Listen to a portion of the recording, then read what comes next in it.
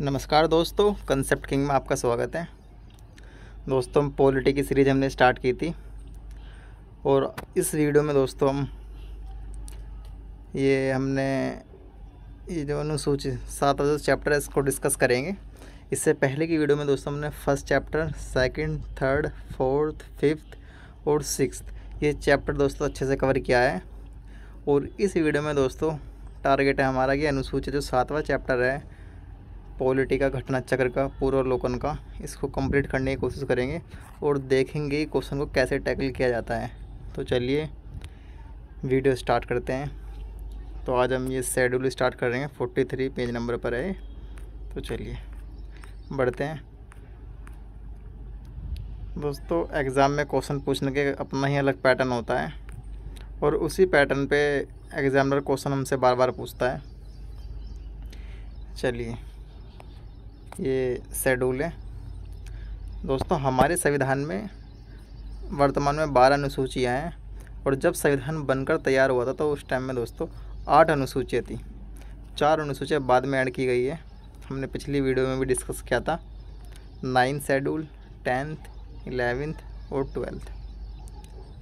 तो चलिए, हम सारी बारह की बारह अनुसूचियों को एक बार पढ़ते हैं और उसके बाद हम दोस्तों सवाल करेंगे। कि सवाल एग्जामिनर कैसे पूछता है? ये देखिए।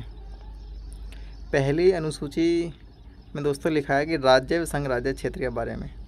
दोस्तों, हमें 22 संविधान में जो भाग हैं, टोटल 25 से जब गिनती करेंगे तो हमें 25 के 25 संविधान के भाग याद होने चाहिए। 12 अनुसूचियाँ हमको याद होनी चाहिए, पूरी की पूरी।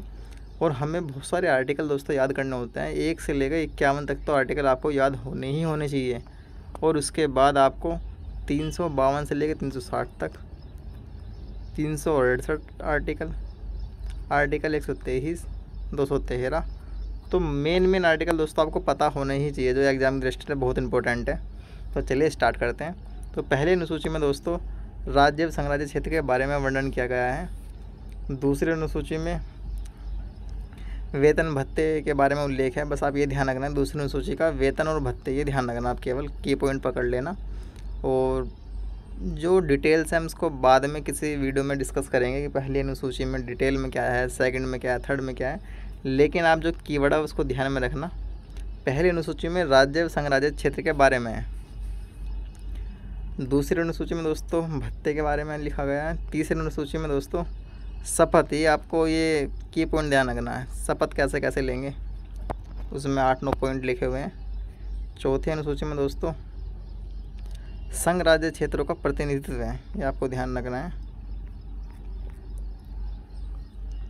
पाँचवीं अनुसूची में अनुसूचित जाति और जनजातियों के प्रशासन के बारे में उपबंध लिखे गए हैं। और छठी अनुसूची में दोस्तों, असम, मेघालय, त्रिपुरा और मिजोरम। ये आपको याद होना चाहिए, असम, मेघालय, त्रिपुरा और मिजोरम। एग्जामिनर पूछ सकता है इसमें, आपको किसी दूसरे स्टेट का नाम दे देगा और वहाँ आपको कन्फ्यूज़ कर देगा। आपको ये पता होना चाहिए, छठी अनुसूची, असम, मेघालय, त्रिपुरा और मिजोरम के जनजातीय क्षेत्रों के प्रशासन के बारे में उपबंध है। सातवीं अनुसूची बहुत इंपॉर्टेंट है। सातवीं अनुसूची में बताया गया है कि केंद्र व राज्यों के बीच सख्त विभाजन किस प्रकार होगा, उसमें तीन अनुसूचियाँ हैं दोस्तों, संघ सूची, राज्य सूची संवर्ती सूची। तो चलिए, फिर आठवीं अनुसूची आती है। आठवीं अनुसूची में बाईस भाषाओं का ज़िक्र है। ये रही आठवीं अनुसूची और नौवीं अनुसूची सबसे पहले अमेंड संविधान संशोधन के माध्यम से लाई गई थी। ये देखिए। नौवीं अनुसूची में दोस्तों, भूमि सुधार संबंधित कानून, कानूनों को शामिल किया गया है। ये बहुत इंपॉर्टेंट है आपको ध्यान रखना है। नौवीं अनुसूची भूमि सुधार संबंधित कानून है।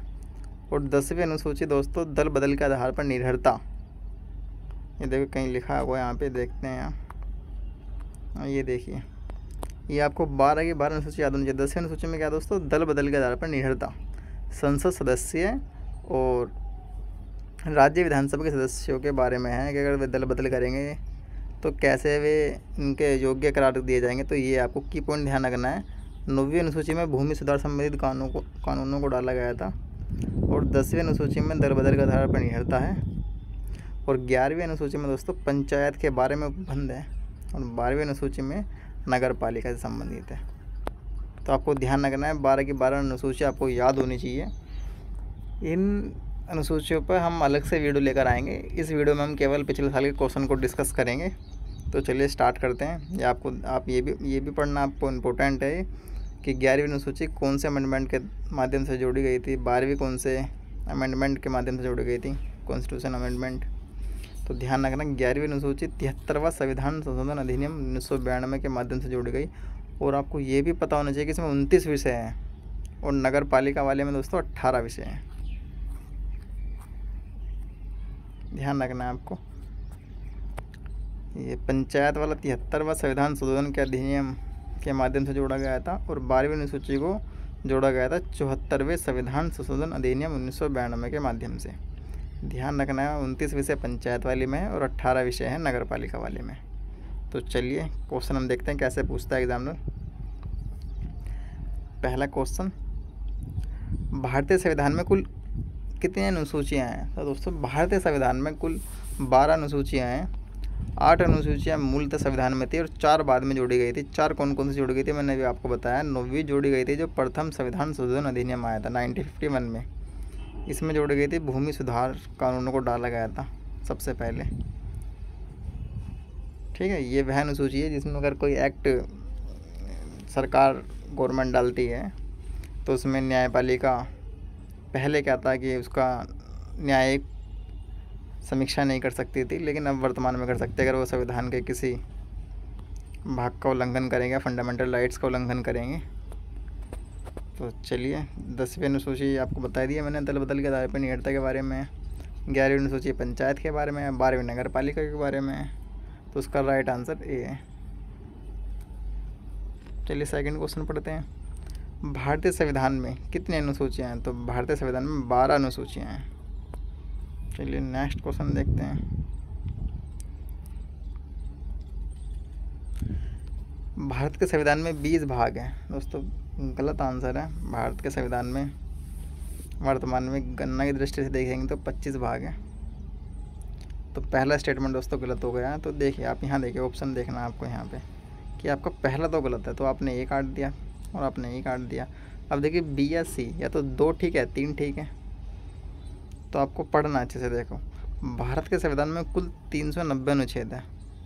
दोस्तों तीन सौ नब्बे अनुच्छेद, ये तो बिल्कुल ही गलत है कि तीन सौ पचानवे तो मूल्य तो संविधान में थे, अब तो बहुत ज़्यादा पहुँच चुके हैं। चार सौ से भी ज़्यादा पहुँच चुके हैं। तो ये पढ़ते हैं। भारत के संविधान में नौवीं, दसवीं, ग्यारहवीं और बारहवीं अनुसूचियों को संविधान संशोधन अधिनियम द्वारा जोड़ा गया। तो अभी हमने देखा है कि देखिए नाइन्थ टेंथ और इलेवेंथ और ट्वेल्थ ये जो शेड्यूल है, इनको हमने बाद में संशोधन के टाइम से जोड़ा गया तो इसका राइट आंसर सी है। चलिए नेक्स्ट क्वेश्चन पढ़ते हैं।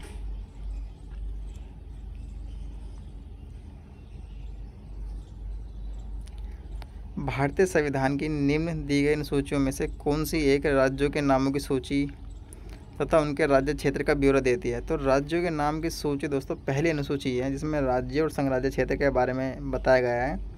और पहली अनुसूची में ही सारी बातें लिखी गई है। तो पहला इसका राइट आंसर यही है चलिए नेक्स्ट क्वेश्चन देखते हैं।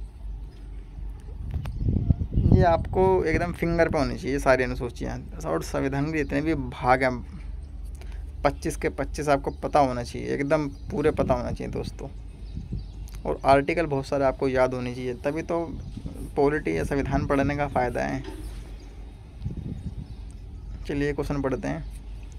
यदि भारत संघ के एक नए राज्य का सृजन करना हो तो संविधान की निम्नलिखित अनुसूचियों में किसी एक को अवश्य संशोधित किया जाना चाहिए। तो बताइए,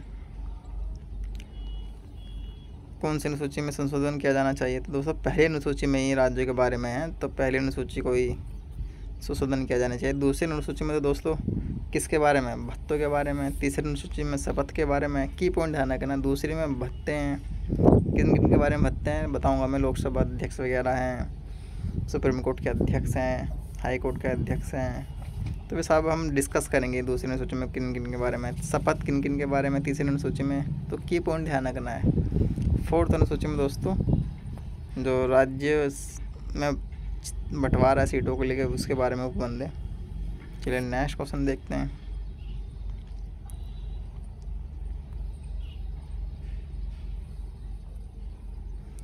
भारत के संविधान की चौथी अनुसूची विवेचित करती है। तो चौथी अनुसूची में क्या है? अभी हमने पढ़ा है, राज्यसभा में स्थानों का आवंटन के बारे में चौथी अनुसूची में लिखा गया है। तो राइट आंसर दोस्तों, ए है। चलिए नेक्स्ट क्वेश्चन देखते हैं। भारतीय संविधान की तृतीय अनुसूची में निम्न में से क्या उपबंधित है? तो तृतीय अनुसूची में दोस्तों भी मैंने देखा कि शपथ है।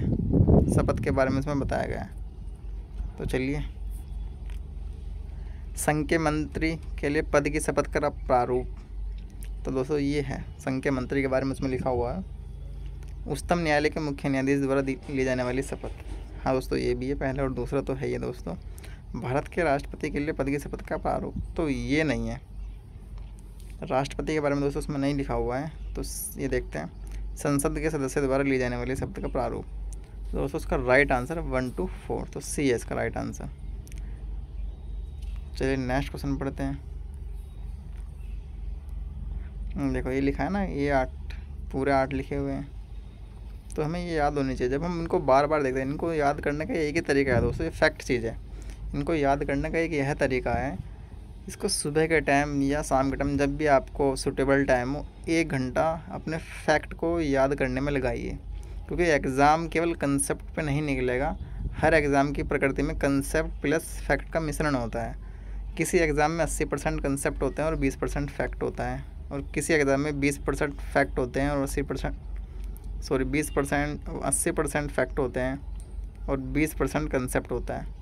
तो ध्यान रखना है एग्ज़ाम कोई भी हो, आपको केवल कंसेप्ट पे नहीं निकलेगा, आपको कुछ चीज़ें याद भी करनी होगी।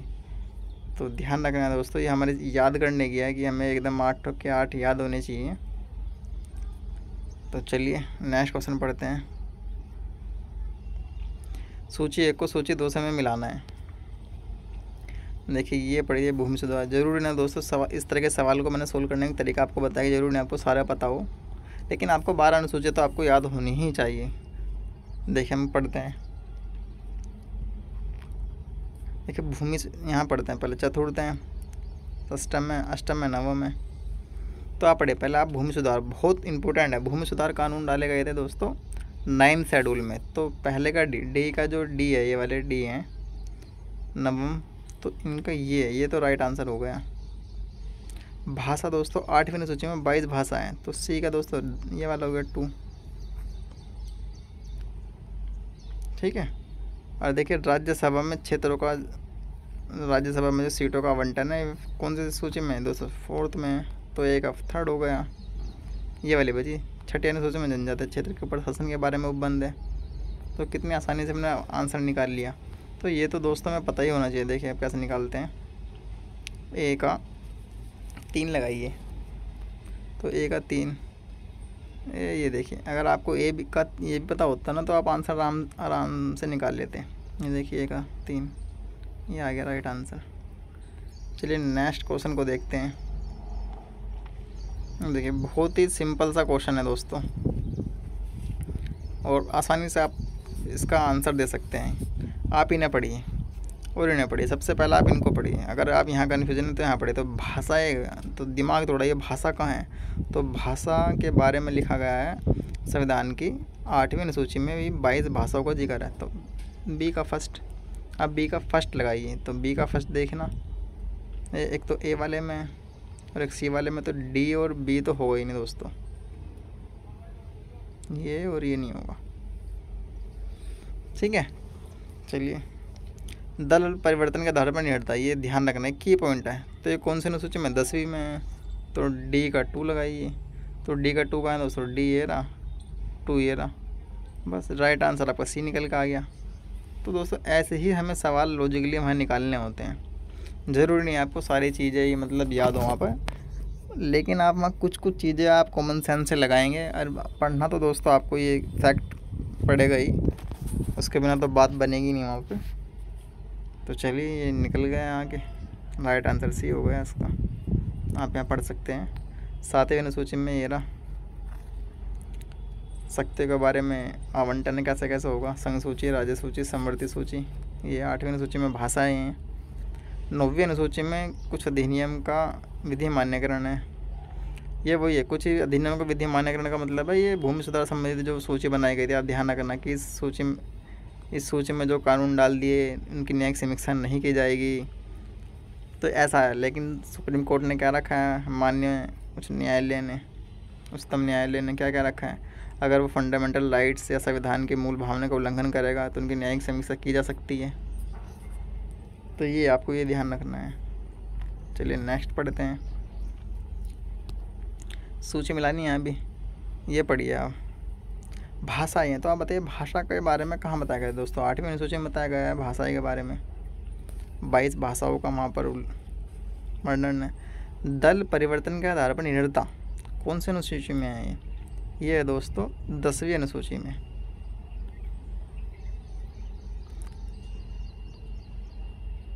तो चलिए, संघ, अगले पढ़ते हैं। संघ राज्य तथा संवर्धित सूची तो ये सूची कौन सी है? ये सातवीं अनुसूची में, ये आपको पता होना चाहिए बिल्कुल। बाईस भाग आपके टोटल पच्चीस और ये बारह आपकी अनुसूची है। ये तो आपके दोस्तों कंठस्थ होनी ही चाहिए।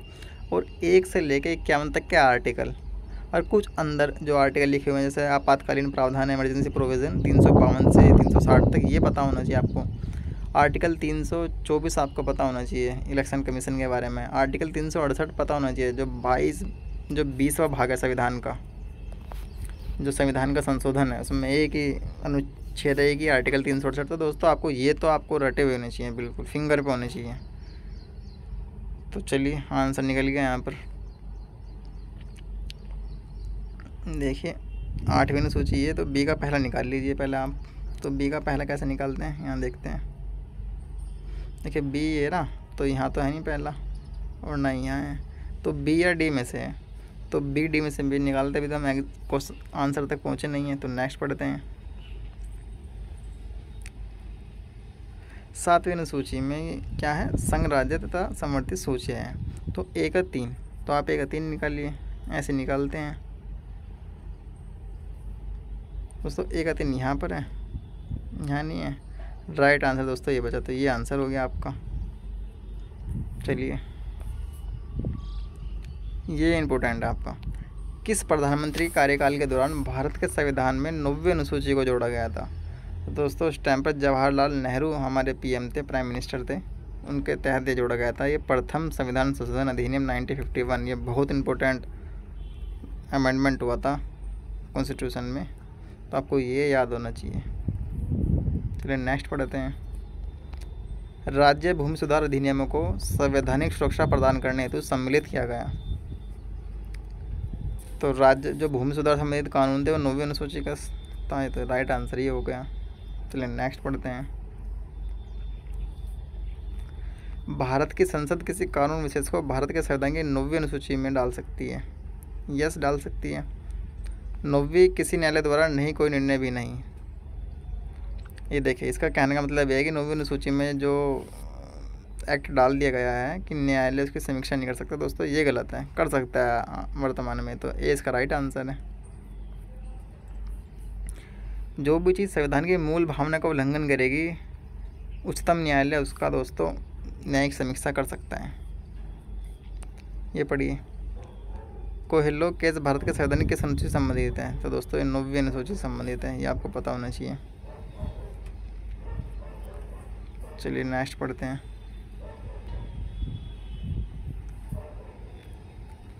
संघ सूची ये मिलाना है।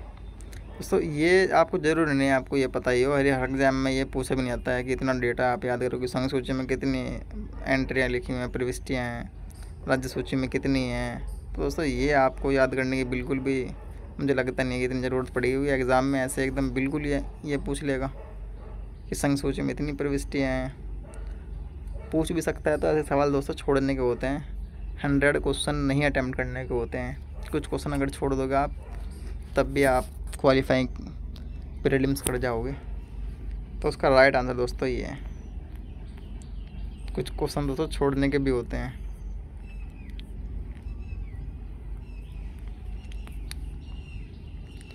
चलिए, भारत के संविधान के अंतर्गत आर्थिक योजना का विषय है। तो दोस्तों, आर्थिक योजना का जो विषय है, वो संवर्धित सूची का है। तो राइट आंसर इसका सी है। चलिए आगे बढ़ते हैं। आर्थिक नियोजन भारतीय संविधान की किस सूची में सम्मिलित है तो देखिए रिपीट क्वेश्चन है, आर्थिक नियोजन, जो आर्थिक चीज़ है, वो संवर्धित सूची में है। तो राइट आंसर सी हो गया। चलिए नेक्स्ट क्वेश्चन पढ़ते हैं। जानवरों के प्रति क्रूरता की रोकथाम को भारतीय संविधान की किस सूची में रखा गया है? तो दोस्तों, उसका राइट आंसर सी है संवर्ती सूची में। चलिए नेक्स्ट पढ़ते हैं। निम्नलिखित में से कौन सा विषय संवर्ती सूची का है?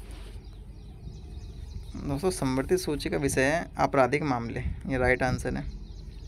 दोस्तों, अगर वीडियो अच्छी लग रही है तो प्लीज़ चैनल को सब्सक्राइब करें, वीडियो को लाइक करें। और ऐसे ही मैं आपको अच्छी और टॉपिक पे वीडियो लेकर आऊँगा, जैसे हिस्ट्री हुआ हिस्ट्री की घटना चक्र को मैं लेकर आऊँगा, फिर इन्वायरमेंट लेकर आऊँगा मैं। और उसके बाद दोस्तों, जो भी इनका थ्योरी का पोर्सन है, उसको भी मैं बहुत जल्द लेकर आने वाला हूँ। सबसे पहले मैं हिस्ट्री को लेकर आऊँगा, जहाँ से सबसे ज़्यादा क्वेश्चन पूछे जाते हैं, फिर पोलिटी को लेकर आऊँगा। और इन्वायरमेंट से संबंधित जोग्राफी से संबंधित जो कुछ टॉपिक हैं, जैसे नेशनल पार्क हुए बायोडाइवर्सिटी हुई, और बायोस्फर रिज़र्व हुए एलिफेंट रिज़र्व हुए तो इनको याद करना थोड़ा मुश्किल होता है तो इनको कैसे टैकल करना है? जैसे रिवर्स हुई, और इनको कैसे याद करना है? उन पर मैं अलग अलग से वीडियो लेकर आऊँगा। तो चैनल को दोस्तों ज्वाइन करें ज़रूर सब्सक्राइब करें चैनल को। वीडियो अच्छी लगे तो लाइक करें। पसंद आए तो दोस्तों डिसलाइक भी कर सकते हैं आप। निम्नलिखित में से कौन सी मत भारत के संविधान की समर्थित सूची में है? दोस्तों संवर्धित सूची में पढ़ते हैं लोक स्वास्थ्य और स्वच्छता प्रति व्यक्ति कर, निखात निधि, जनसंख्या नियंत्रण और परिवार नियोजन। तो दोस्तों राइट आंसर ए है। चलिए नेक्स्ट क्वेश्चन पढ़ते हैं। निम्नलिखित में से कौन सा सही सम्मिलित नहीं है? इसका राइट आंसर दोस्तों सी है। राज्यसभा में सीटों का बंटवारा। आप बताइए राज्यसभा में सीटों का बंटवारा। कौन सी अनुसूची में आए तो दोस्तों फोर्थ चौथी अनुसूची में लिखा गया है। हम्म। चलिए नेक्स्ट पढ़ते हैं। निम्नलिखित में से कौन सा विषय संवर्धित सूची में है? तो संवर्धित सूची में दोस्तों में शिक्षा एजुकेशन है। ना कि कृषि, पुलिस और रक्षा, ये नहीं तो संवर्धित सूची में शिक्षा है। चलिए नेक्स्ट पढ़ते हैं। शिक्षा जो प्रारंभिक राज्य सूची का विषय था, उसे संवर्धित सूची में स्थानांतरित किया गया। तो आपको बताना है किस एक्ट के तहत किया गया, दोस्तों, ये था बयालीसवा संविधान संशोधन के माध्यम से जोड़ा गया। बयालीसवा संविधान संशोधन अधिनियम उन्नीस सौ छिहत्तर, बहुत इंपॉर्टेंट है दोस्तों ये ये आपको याद होना चाहिए। चलिए नेक्स्ट क्वेश्चन देखते हैं। भारतीय संविधान के किस संशोधन में वनों को राज्य सूची से संवर्धित सूची में स्थानांतरित कर दिया गया? तो बयालीसवा संविधान संशोधन अधिनियम उन्नीस सौ छिहत्तर के माध्यम से दोस्तों पाँच चीज़ों को संवर्धित सूची में डाला गया था। पाँच चीज़ कौन कौन सी थी दोस्तों? ये लिखा हुआ है यहाँ पे। ये कृषि और पुलिस और एजुकेशन ये कुछ इस तरह की दोस्तों चीज़ें थी। चलिए नेक्स्ट पढ़ते हैं।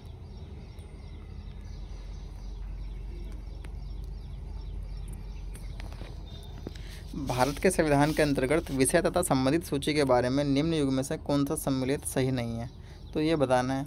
इसका राइट आंसर दोस्तों, जो शेयर मार्केट है, ये संवर्धित सूची का विषय नहीं है। तो इसका राइट आंसर बी है। दोस्तों, एक बात यहाँ पर ध्यान रखनी है।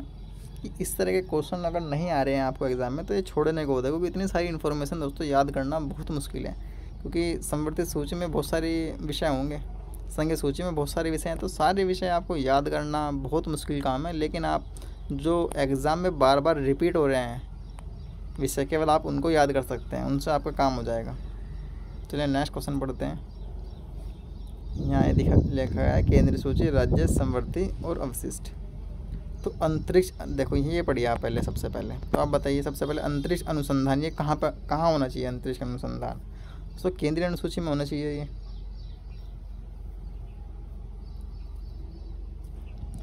या राज्य सूची में होना चाहिए, या समर्थित सूची में होना चाहिए, ये कहाँ होना चाहिए? फिर ये जनगणना है, जनगणना कहाँ पर होना चाहिए? केंद्र सूची, राज्य सूची समर्थित सूची, या अवशिष्ट विषय? है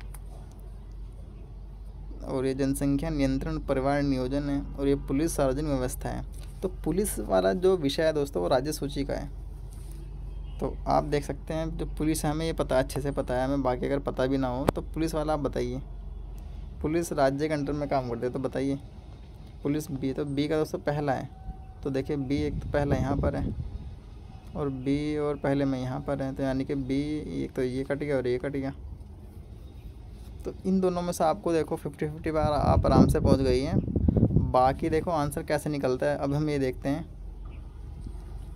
ये देखिए, अंतरिक्ष अनुसंधान है। ये देखिए, राज्य सूची का तो विषय है नहीं ये, आपका।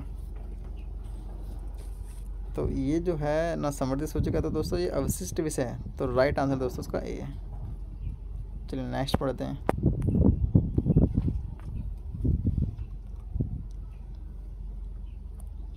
भारतीय संविधान के निम्नलिखित में से कौन से प्रावधान शिक्षा पर प्रभाव डालते हैं? आप देखना, यहाँ पे लिखा है कि इफ़ेक्ट कौन से डालते हैं? दोस्तों इफ़ेक्ट डालते हैं। इफ़ेक्ट तो हमारे संविधान में कोई ना कोई से प्रावधान डालते ही होंगे। तो पढ़िए, राज्य की नीति निर्देशक तौर डी पी एस पे डालते हैं डालते हैं। ग्रामीण और शहरी स्थानीय निकाय, दोस्तों, कहीं तो बात लिखी होगी। शिक्षा पे प्रभाव डालते हैं। प्रभाव डालने की बात लिखा गया है। पाँचवीं सूची है छठी और सातवीं दोस्तों प्रभाव ज़रूर डालते होंगे। तो उसका राइट आंसर दोस्तों सभी है, ये सारे हैं, एक, दो, तीन, चार, पाँच। चलिए नेक्स्ट क्वेश्चन पढ़ते हैं। भारत के संविधान की निम्नलिखित में से कौन सी एक अनुसूची में दल बदल से संबंधित प्रावधान है? तो उसका राइट आंसर दसवीं अनुसूची में दोस्तों लिखा गया है। दसवीं अनुसूची में दल बदल के आधार पर निहड़ता के बारे में लिखा गया है तो डी इसका राइट आंसर है। चलिए नेक्स्ट क्वेश्चन पढ़ते हैं। ये क्वेश्चन रिपीट है, ये वाला। भारतीय संविधान के किस अनुच्छेद में, सॉरी, किस अनुसूची में दल बदल विरोधी कानूनों को रखा गया है? तो उसका राइट आंसर दोस्तों, दसवीं अनुसूची है। चलिए, दसवीं अनुसूची बहुत इंपॉर्टेंट है। इंपॉर्टेंट तो दोस्तों ये बारह की बारह बारह की बारह आपको याद होनी चाहिए फिंगर पे होनी चाहिए। तो पढ़ते हैं, दसवीं अनुसूची का संबंध है। राष्ट्रभाषा से नहीं है, राष्ट्रीय भाषा से। अनुसूचित एवं अनुसूचित जनजातीय क्षेत्र के प्रशासन से नहीं है, न्यायिक पूर्वावलोकन से नहीं है। ये है दल बदल विरोधी कानून से ही है राइट आंसर चलिए नेक्स्ट क्वेश्चन देखते हैं। भारतीय संविधान की दसवीं अनुसूची का संबंध है। तो दसवीं अनुसूची का दोस्तों संबंध है, दल बदल के आधार पर नहीं हटता। तो राइट आंसर दोस्तों उसका ए है। चलिए नेक्स्ट क्वेश्चन देखते हैं। भारतीय संविधान की सातवीं अनुसूची के अंतर्गत संघ सूची में निम्नलिखित में से किसका उल्लेख नहीं है? तो ये देखिए, किस तरह का क्वेश्चन पूछा गया तो इस तरह का अगर एग्ज़ाम में क्वेश्चन आपसे पूछा गया है तो बहुत मुश्किल है कि आप सही तक पहुँच जाए। इसका राइट आंसर ये है। तो छोड़ो नहीं, दोस्तों, आसान होता है इन क्वेश्चनों को। ज़रूरी नहीं है कि सारे क्वेश्चन आपको अटैम्प्ट करने हैं। निम्नलिखित में से कौन सा विषय भारतीय संविधान की संघ सूची से संबंधित नहीं है? हमें कम से कम वे क्वेश्चन तो हमें आने चाहिए, जो बाकी लोगों को भी आते हैं। और उन क्वेश्चन से घबराने की आवश्यकता नहीं है। जो बाकी को भी नहीं आ रहे हैं, हमें भी नहीं आ रहे हैं। जब बाकी को नहीं आ रहे हैं, हमें नहीं आ रहे तो उनसे घबराने की ज़रूरत नहीं है। घबराने नहीं कह सकता वहाँ हैं, जहाँ बाकी को आ रहे हैं और हमको नहीं आ रहे हैं। तो केवल फैक्ट उनको याद करें, जो बाकी याद करते हैं। जो बाकी याद नहीं कर रहे, वे हम पे भी याद नहीं होंगे, दोस्तों। क्योंकि इतने सारे फैक्ट याद करना एक मनुष्य के लिए, दोस्तों, कहीं ना कहीं तो सीमित है मात्रा। चलिए, पढ़ते हैं ये। निम्नलिखित में से कौन सा विषय भारतीय संविधान की संघ सूची से संबंधित नहीं है? तो संघ सूची से संबंधित नहीं है दोस्तों, कृषि वाला। रक्षा, रेलवे, ये विदेशी मामले, ये तो दोस्तों, कर सकते हैं हम आसानी से। कृषि है। कृषि संबंधित नहीं है। ये तीनों दोस्तों ऐसे हैं, रक्षा, रेलवे विदेशी विदेश के मामले। तो दोस्तों, ये तो संघ सूची का ही है। तो ये क्वेश्चन आसान है आपका। इस तरह क्वेश्चन आप अटैम्प्ट ज़रूर लें। तो राइट आंसर दोस्तों, उसका डी चलिए नेक्स्ट क्वेश्चन देखते हैं। भारतीय संविधान की सातवीं अनुसूची के अंतर्गत तो राज्य सूची में निम्न में से किसका उल्लेख है? तो सर, राज्य सूची में भारतीय संविधान की सातवीं अनुसूची के अंतर्गत राज्य सूची में से किसका उल्लेख है? तो उसको ध्यान रखना, शिक्षा, विद्युत और वन, ये तो हो गया आपके समवर्ती सूची के।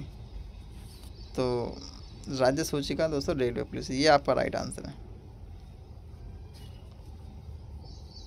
चलिए नेक्स्ट क्वेश्चन देखते हैं। निम्न में से कौन राज्य सूची में है? तो राज्य सूची में दोस्तों कौन सा है? तो रेलवे पुलिस। अभी देखो रिपीट क्वेश्चन है तो ये तो आपको पता होना चाहिए रटे होने चाहिए। इसलिए तो पिछले साल के पेपरों का बेनिफिट यही होता है, हमें एक तो एग्ज़ाम पैटर्न पता लगता है, और दूसरा ये पता लगता है कि हमें किस चीज़ पर ज़्यादा ज़ोर देना है, और कौन सी चीज़ को हमें छोड़ना है। तो ये तो दोस्तों में बेनिफिट देता ही है। चलिए। पंचायती राज विषय निम्नलिखित में से किस सूची में सम्मिलित हैं? तो पंचायती राज दोस्तों राज्य सूची से संबंधित है। राइट आंसर बी है। नेक्स्ट क्वेश्चन को पढ़ते हैं। बहुत ही सिंपल सा क्वेश्चन था। निम्नलिखित में से कौन सा विषय भारतीय संविधान की सातवीं अनुसूची की सूची तीन समर्थित सूची में शामिल है?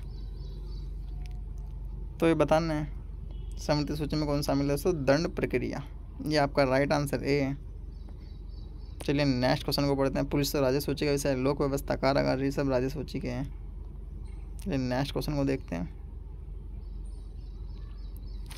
विवाह विवाह विच्छेद और गोद लेना। संविधान की सातवीं सूची में निम्नलिखित में से किसके अंतर्गत लिया गया ये इंपॉर्टेंट आपका क्वेश्चन है, आपको एग्ज़ाम में नेक्स्ट टाइम ही पूछा जा सकता है तो उसका राइट आंसर सी है, सूची तीन। और संवर्धित सूची में इनको शामिल किया गया है। विवाह विवाह विच्छेद डिवोर्स कैसे होगा और गोद कैसे लेंगे? अडोप कैसे करेंगे बच्चों को? चलिए। भारतीय संविधान की सातवीं अनुसूची का संबंध राज्य के विधानमंडल के निर्वाचन से दोस्तों, इस तरह के क्वेश्चन आपको छोड़ने को होता है कि आपको देखना कितने अंदर डीप में जाके पूछा। प्रविष्टि बहत्तर, सत्ताईस, सैंतीस, बत्तीस, ये याद करना दोस्तों बहुत मुश्किल है। इनको छोड़ना ज़्यादा आसान है, छोड़ देने से ही आपका सिलेक्शन होगा। एग्ज़ाम में दोस्तों हमें ये भी पता होना चाहिए कौन सा हमें क्वेश्चन अटैम्प्ट करना है और कौन सा छोड़ना है। चलिए नेक्स्ट पढ़ते हैं। सरकारों द्वारा शुल्क एवं कर लगाने का अधिकार संविधान के किस अनुच्छेद में उल्लिखित है? तो दोस्तों इसका राइट आंसर सातवें अनुसूची में है। इन अनुसूची में नहीं है। चलिए नेक्स्ट पढ़ते हैं। भूमि सुधारों के विषय में के अंतर्गत है? तो बताना भूमि सुधार के विषय के अंतर्गत हैं। संघ सूची, समवर्ती सूची, राज्य सूची, उनमें से कोई नहीं। तो भूमि सुधार संबंधित विषय किन के बारे में दोस्तों? राज्य सूची में चलिए नेक्स्ट क्वेश्चन देख, देखते हैं।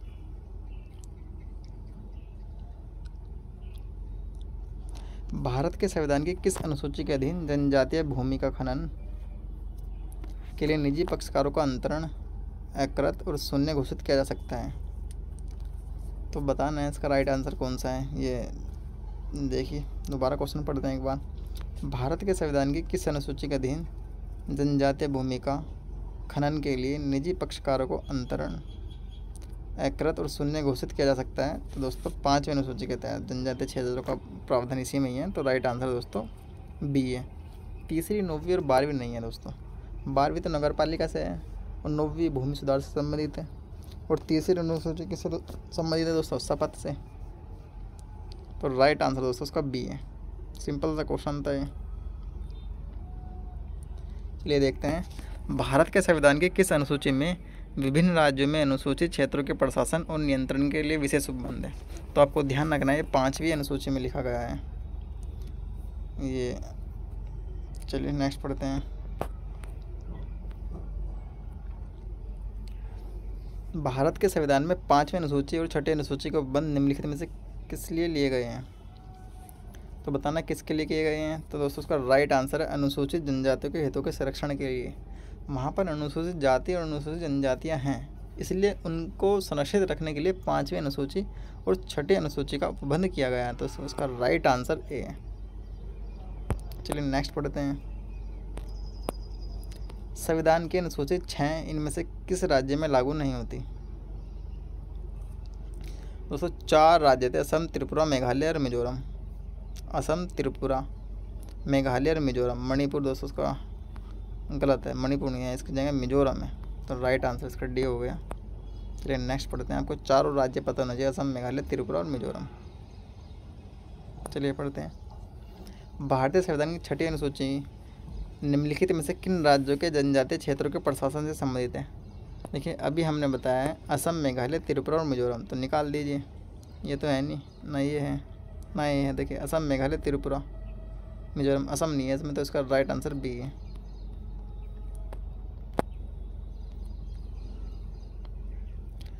भारतीय संविधान की छठी अनुसूची के प्रावधान निम्नलिखित में से किस राज्य में लागू होते हैं? दोस्तों, आपको चारों के चारों ही याद होने चाहिए। तो देखिए, किसमें होते हैं? सिक्किम गलत है, नागालैंड गलत है, डी गलत है ये सही है, त्रिपुरा। तो चार राज्य हैं कौन कौन से? असम, मेघालय, त्रिपुरा, मिजोरम। तो आपको इसी क्रम में आपको ये याद होनी चाहिए। तो राइट आंसर दोस्तों ए इसका चलिए नेक्स्ट क्वेश्चन को देखते हैं। संविधान की ग्यारहवीं अनुसूची निम्नलिखित में से किससे संबंधित है? तो ग्यारहवीं अनुसूची संबंधित है दोस्तों पंचायत से और बारहवीं है नगर पालिका से। ग्यारहवीं को जोड़ा गया था तिहत्तरवा संविधान संशोधन अधिनियम उन्नीस के माध्यम से और बारहवीं को जोड़ा गया था चौहत्तरवा संविधान संशोधन अधिनियम उन्नीस के माध्यम से। ग्यारहवीं अनुसूची में उनतीस विषय हैं और बारहवीं अनुसूची में अट्ठारह विषय हैं। आपको ये विषय भी याद होने चाहिए। कई बार एग्ज़ाम में पूछता है कि ग्यारहवीं अनुसूची में कितने विषय हैं तो उनतीस विषय हैं। बारहवीं अनुसूची में कितने विषय हैं तो अट्ठारह विषय हैं। चलिए नेक्स्ट क्वेश्चन देखते हैं। देखिए, पूछ लिया अगले। भारत के संविधान की गैर अनुसूची में कितने विषय हैं? तो दोस्तों, उनतीस विषय हैं। तो दोस्तों, हमने आज सातवां चैप्टर कंप्लीट किया है। नेक्स्ट चैप्टर है। ये देखिए। दोस्तों, हमारा टारगेट है इसमें बयालीस चैप्टर है और बयालीस वीडियो में इनको कंप्लीट करने का हमारा टारगेट है। आपको वीडियो दोस्तों अच्छी लगे तो प्लीज़ चैनल को लाइक करें, सब्सक्राइब करें, चैनल को, वीडियो को लाइक करें, शेयर कर सकते हैं अपने दोस्तों के साथ। और नेक्स्ट वीडियो में दोस्तों हम ये ये वाला चैप्टर को सोल्व करने की कोशिश करेंगे। ये देखिए। उद्देश्य का वाला। तो हमने इससे पहले जो वीडियो में हमने पढ़ लिया है, पहला चैप्टर को अच्छे से डिस्कस कर लिया है second third fourth fifth six और सातवां आज हमने पढ़ा है दोस्तों अनुसूचियाँ तो दोस्तों बारह अनुसूचियाँ हमको याद होनी चाहिए, एकदम फिंगर पे होनी चाहिए। तो नेक्स्ट वीडियो में दोस्तों हम उद्देशिका को पढ़ने जाएँगे। दोस्तों, चलिए। तब तक के लिए धन्यवाद।